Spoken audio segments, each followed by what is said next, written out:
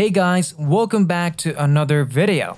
Remember that old geezer with the walking stick and an arm bandage that we all thought had a broken hand not knowing he was hiding a lot of stolen Sharingans? Yes, that's right, I am talking about Danzo Shimura.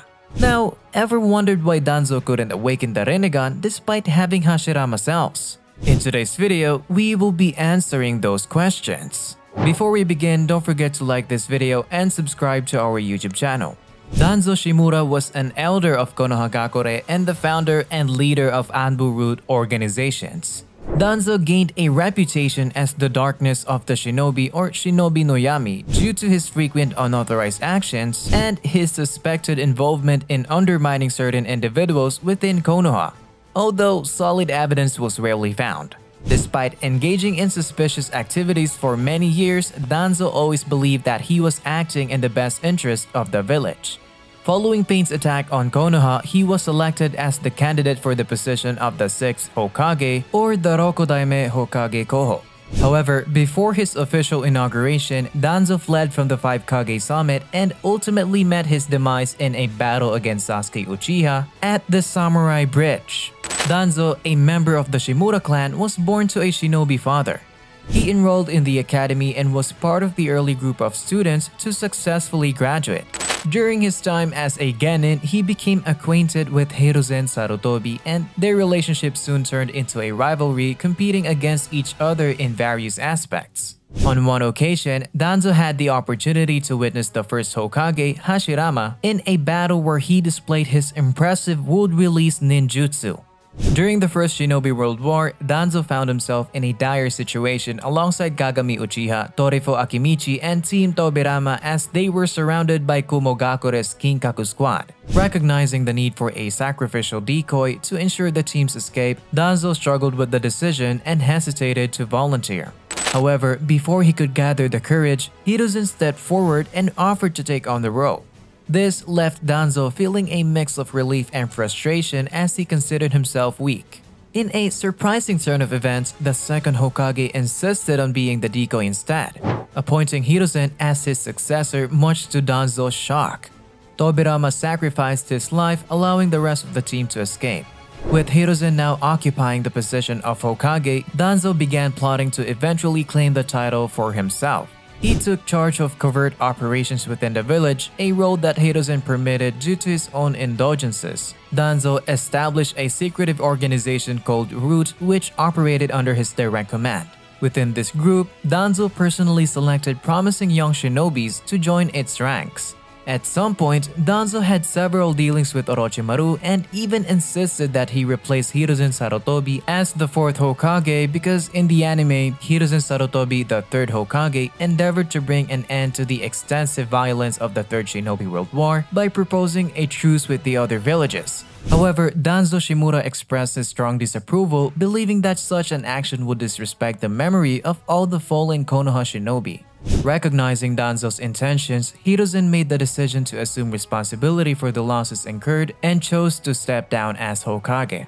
However, this idea of Orochimaru being the next Hokage was strongly opposed by the third Hokage who then nominated Minato Namikaze to be the fourth Hokage. Orochimaru was in charge of embedding various Sharingans into the left hand of Danzo.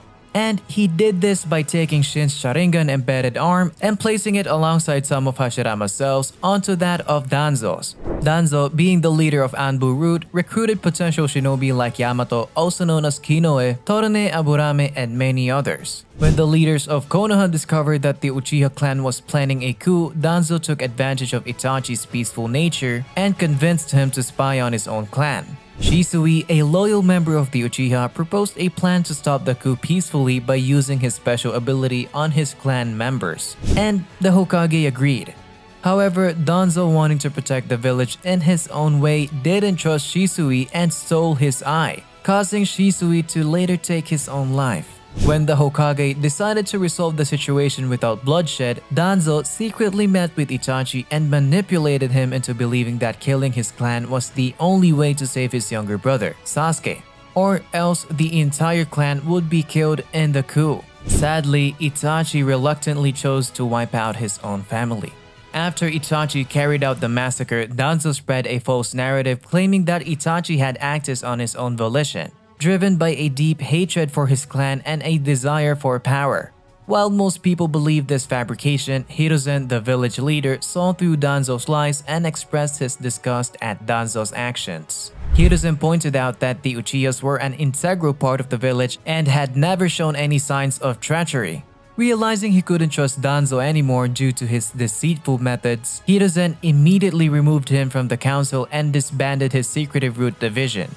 Later, a clone of Itachi disguised as a member of Root confronted Danzo, warning him that if he ever harmed Sasuke, he would expose Konoha's secrets to other nations. During this time, Danzo also had meetings with Tobi, the reason for which remained unknown. Despite the official disbandment of Root, Danzo continued to secretly maintain its operations throughout the years. After Tsunade succumbed to coma due to her being weakened by healing the injured villagers after Pain's assault, even though Shikaku Nara tried his hardest, Danzo managed to persuade the daimyo that the peaceful beliefs of the past Hokage had weakened Konoha. Danzo portrayed himself as the leader that the village presently required to uphold shinobi laws and establish global order. After thinking about it briefly, the daimyo agreed to make him a candidate for the position of the 6th Hokage. During a meeting between the Kages, Ao noticed that the chakra in Danzo's right arm had the same color as Shisui's. Danzo concealed his arm under bandages and a sealed gauntlet, likely to conserve chakra and maintain control over the eyes and DNA. Thanks to his integration of Hashirama cells, Danzo acquired the ability to heal almost any injury without using hand seals. Tobi mentioned that Danzo's possession of both Uchiha and Senju's DNA potentially granted him the ability to control Kurama, the nine-tailed fox. During the meeting in the Land of Iron, Danzo didn't actively participate except for informing the other Kages about Madara Uchiha's involvement with the Akatsuki. Mifune proposed that the five Kage form an alliance with Danzo as their leader to eliminate the Akatsuki. However, during the discussion, Danzo was accused by the 4th Raikage of orchestrating the Konoha Crush to get rid of Hiruzen and the 4th Kazekage. Before the situation escalated, White Zetsu appeared and revealed that Sasuke was nearby. Danzo and his bodyguards used the distraction to escape, with Ao pursuing them. They encountered Black Zetsu's clones but managed to defeat them. Danzo instructed Fu to stop Ao and retrieve his Byakugan, but ultimately failed in obtaining it. Danzo ended up fighting Sasuke in a brutal fight. At some point, Danzo, convinced of his victory, instructed Sasuke to join forces with Itachi. However, he soon realized that Sasuke's genjutsu had deceived him into believing he had one more eye to evade a fatal strike. With depleted chakra and a new injury, Danzo lost control over his wood abilities, compelling him to sever his arm to prevent turning into a massive tree.